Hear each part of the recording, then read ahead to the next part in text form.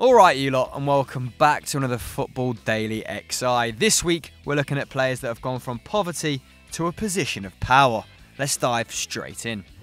Goalkeeper Ali Al Habsi. Hailing from Oman, a country of 4 million people on the Arabian Peninsula, Ali Al Habsi grew up in a tiny village where temperatures could reach as much as 50 degrees in the summer. Too hot to leave the house, after 10am. As a child, Al Habsi and his brothers would try to knock mangoes out of trees with stones, and the keeper still has scars on his head from one poor throw. Though standing at 6 foot 4 inches, Al Habsi didn't play between the sticks until he was 16, and after school, he trained to become a fireman, never expecting to make a career out of football. But former Manchester City and Newcastle John Burridge, then a coach of the Oman national team, saw the youngster play and invited him to try out for the national squad, confidently telling Al Habsi that he'd play in the Premier League one day. Burridge was an odd guy.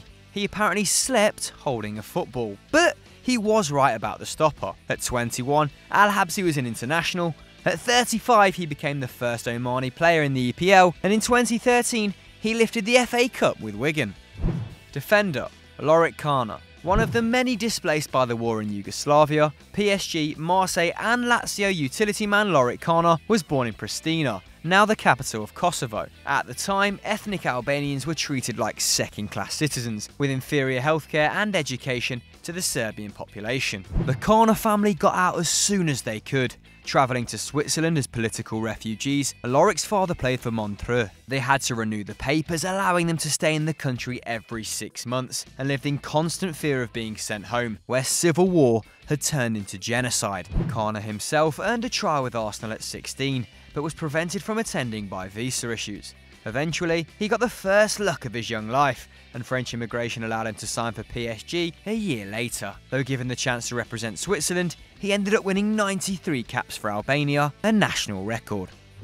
Defender Dante.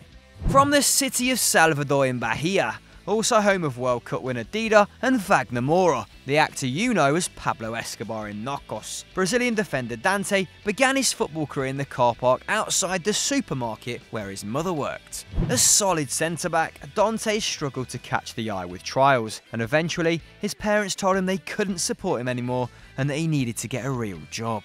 But Dante refused to give up, and when Mastabara, 2,200 kilometres away in the south of the country offered him a tryout, he sold his PlayStation to pay for the one-way ticket. He ended up at top flight side Juventude, and at the age of 20 was spotted by Lille, who took him to France in 2003. He went on to win titles with Standard Liège and Bayern Munich, also lifting the Champions League trophy in 2013.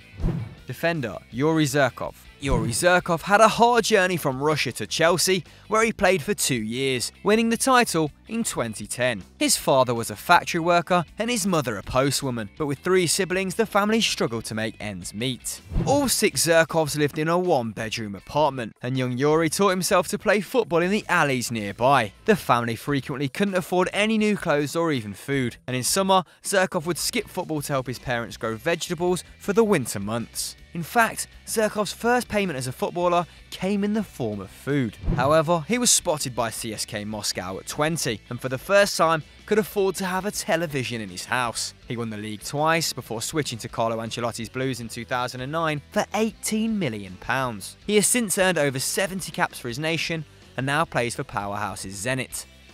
Right mid, Garrincha. The story of Garrincha, the bow-legged boy who became a superstar, is both heartwarming and tragic. The player, born Manuel Francisco dos Santos, grew up in Pau Grande, a town run by a fabric corporation to provide workers for their local factory. In exchange for their labour, the residents were given food and accommodation, but had nothing of their own, unless a magical talent gave them a way out. Garrincha had exactly that. Though he started working in the factory when he was 14, Garrincha also played for the local football team, and at 20, he was scouted by Botafogo, for whom he'd end up playing for over 600 times. A two-time World Cup winner, the Brazilian was unable to hand his meteoric ascent. He became an alcoholic, cheated his way through two marriages, and fathered at least 14 children. Eventually, he drunkenly killed his mother-in-law when he crashed the car into a lorry, and he died before he turned 50, inevitably from cirrhosis of the liver.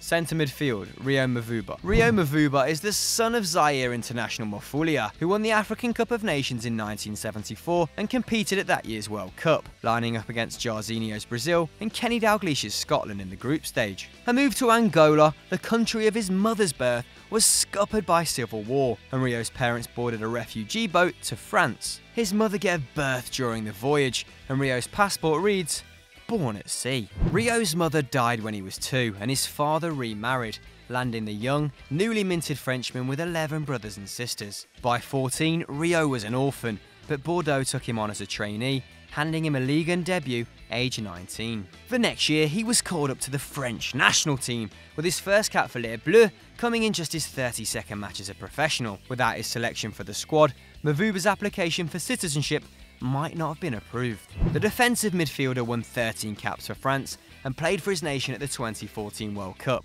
While at club level, he featured more than 350 times for Lille, winning a league and cup double in 2011. Central midfield, Yaya Toure. One of the most intelligent and accomplished midfielders in the last decade, Yaya Toure often seems like he was born wearing a pair of football boots. But the Ivorian was 10 before he was able to buy his first pair, instead playing barefoot in the streets of Bouaké, the second largest city in his country. But Toure's talent won out. He was signed by Mimosas, the Ivory Coast's most successful club when he was just 13, and the academy was under the control of former French international Jean-Marc Guillou, who used his part ownership of Belgian side Beveren to get the Ivorian youngster into European football. Toure spent five years with Beveren, Metalurg and Olympiacos before getting a move to Monaco, where he finally drew Barcelona's attention. Four titles have followed in Spain and England, as well as the Champions League in 2009. He now earns around £11.4 million a year, more than 10,000 times the Ivorian minimum wage.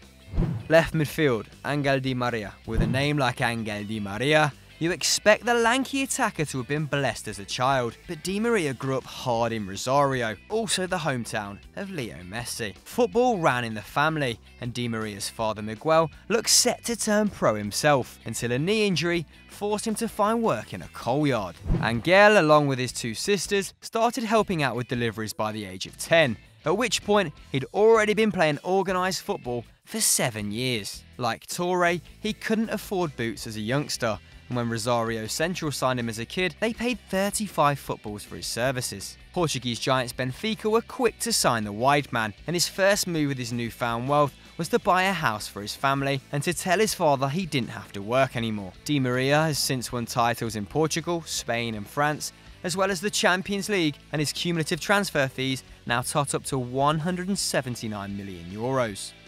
Right wing, Diego Maradona. The mercurial Argentinian had it just like a lot of South American kids. Born into a shanty town to a large family with an abundance of siblings. His family was destined to birth a host of footballers, though, with Maradona and his two brothers all becoming professional footballers, with Diego reaching the very top.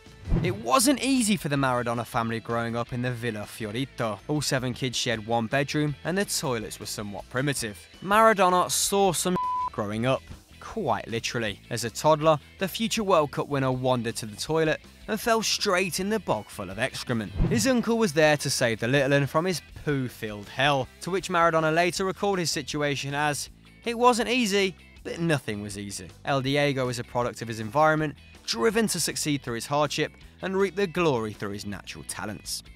Centre forward, Flavio Caca-Rato. With a name meaning Flavio the Rat Hunter, and the fact you probably haven't heard of him, you know this Brazilian forward had a rough upbringing. Flavio's resiliency saw him overcome every hardship possible to make a career in the game he loved. As a kid, he used to beg for change to buy a ticket to watch Santa Cruz for starters. Flavio was also cursed with an alcoholic father, and when he was just 8 years old, his dad tried to hang him while drunk. The child was only saved by the quick action of his uncle, who arrived in time to cut him down. Flavio's dad's drinking eventually killed him, and Flavio himself was philosophical about the incident, saying he wasn't a bad father, but I could never understand why he drank so much. A bullet dodged, but he couldn't dodge them all. After winning the Copa do Brasil and two local championships with Sport Recife, Flavio ended up on loan at Timbaúba in 2010 and was shot twice on leaving a nightclub. Despite being hit in the back and the leg, he was back on the field a month later and won another two local titles with Santa Cruz,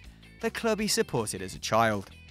Left wing, Rivaldo. Ballon d'Or winner Rivaldo always looked gangly whenever he was on the ball, which may have been down to a testing childhood. Growing up in the favelas of Recife, the attacking midfielder was impoverished, so much so he lost his teeth to malnutrition and ended up bow-legged. His route into the professional game was arduous as a result, signing for Paulistano at 16 despite the club believing he was too physically weak to succeed. As if it couldn't look any more glum for the Brazilian, his father died in a car crash a year later. Just over a decade later, though, Rivaldo's trophy cabinet was full to the brim, with a World Cup, a Champions League, and a Copa America being the pick of the bunch. Rising from nothing to become the world's best player, Rivaldo is a true example of poverty to power.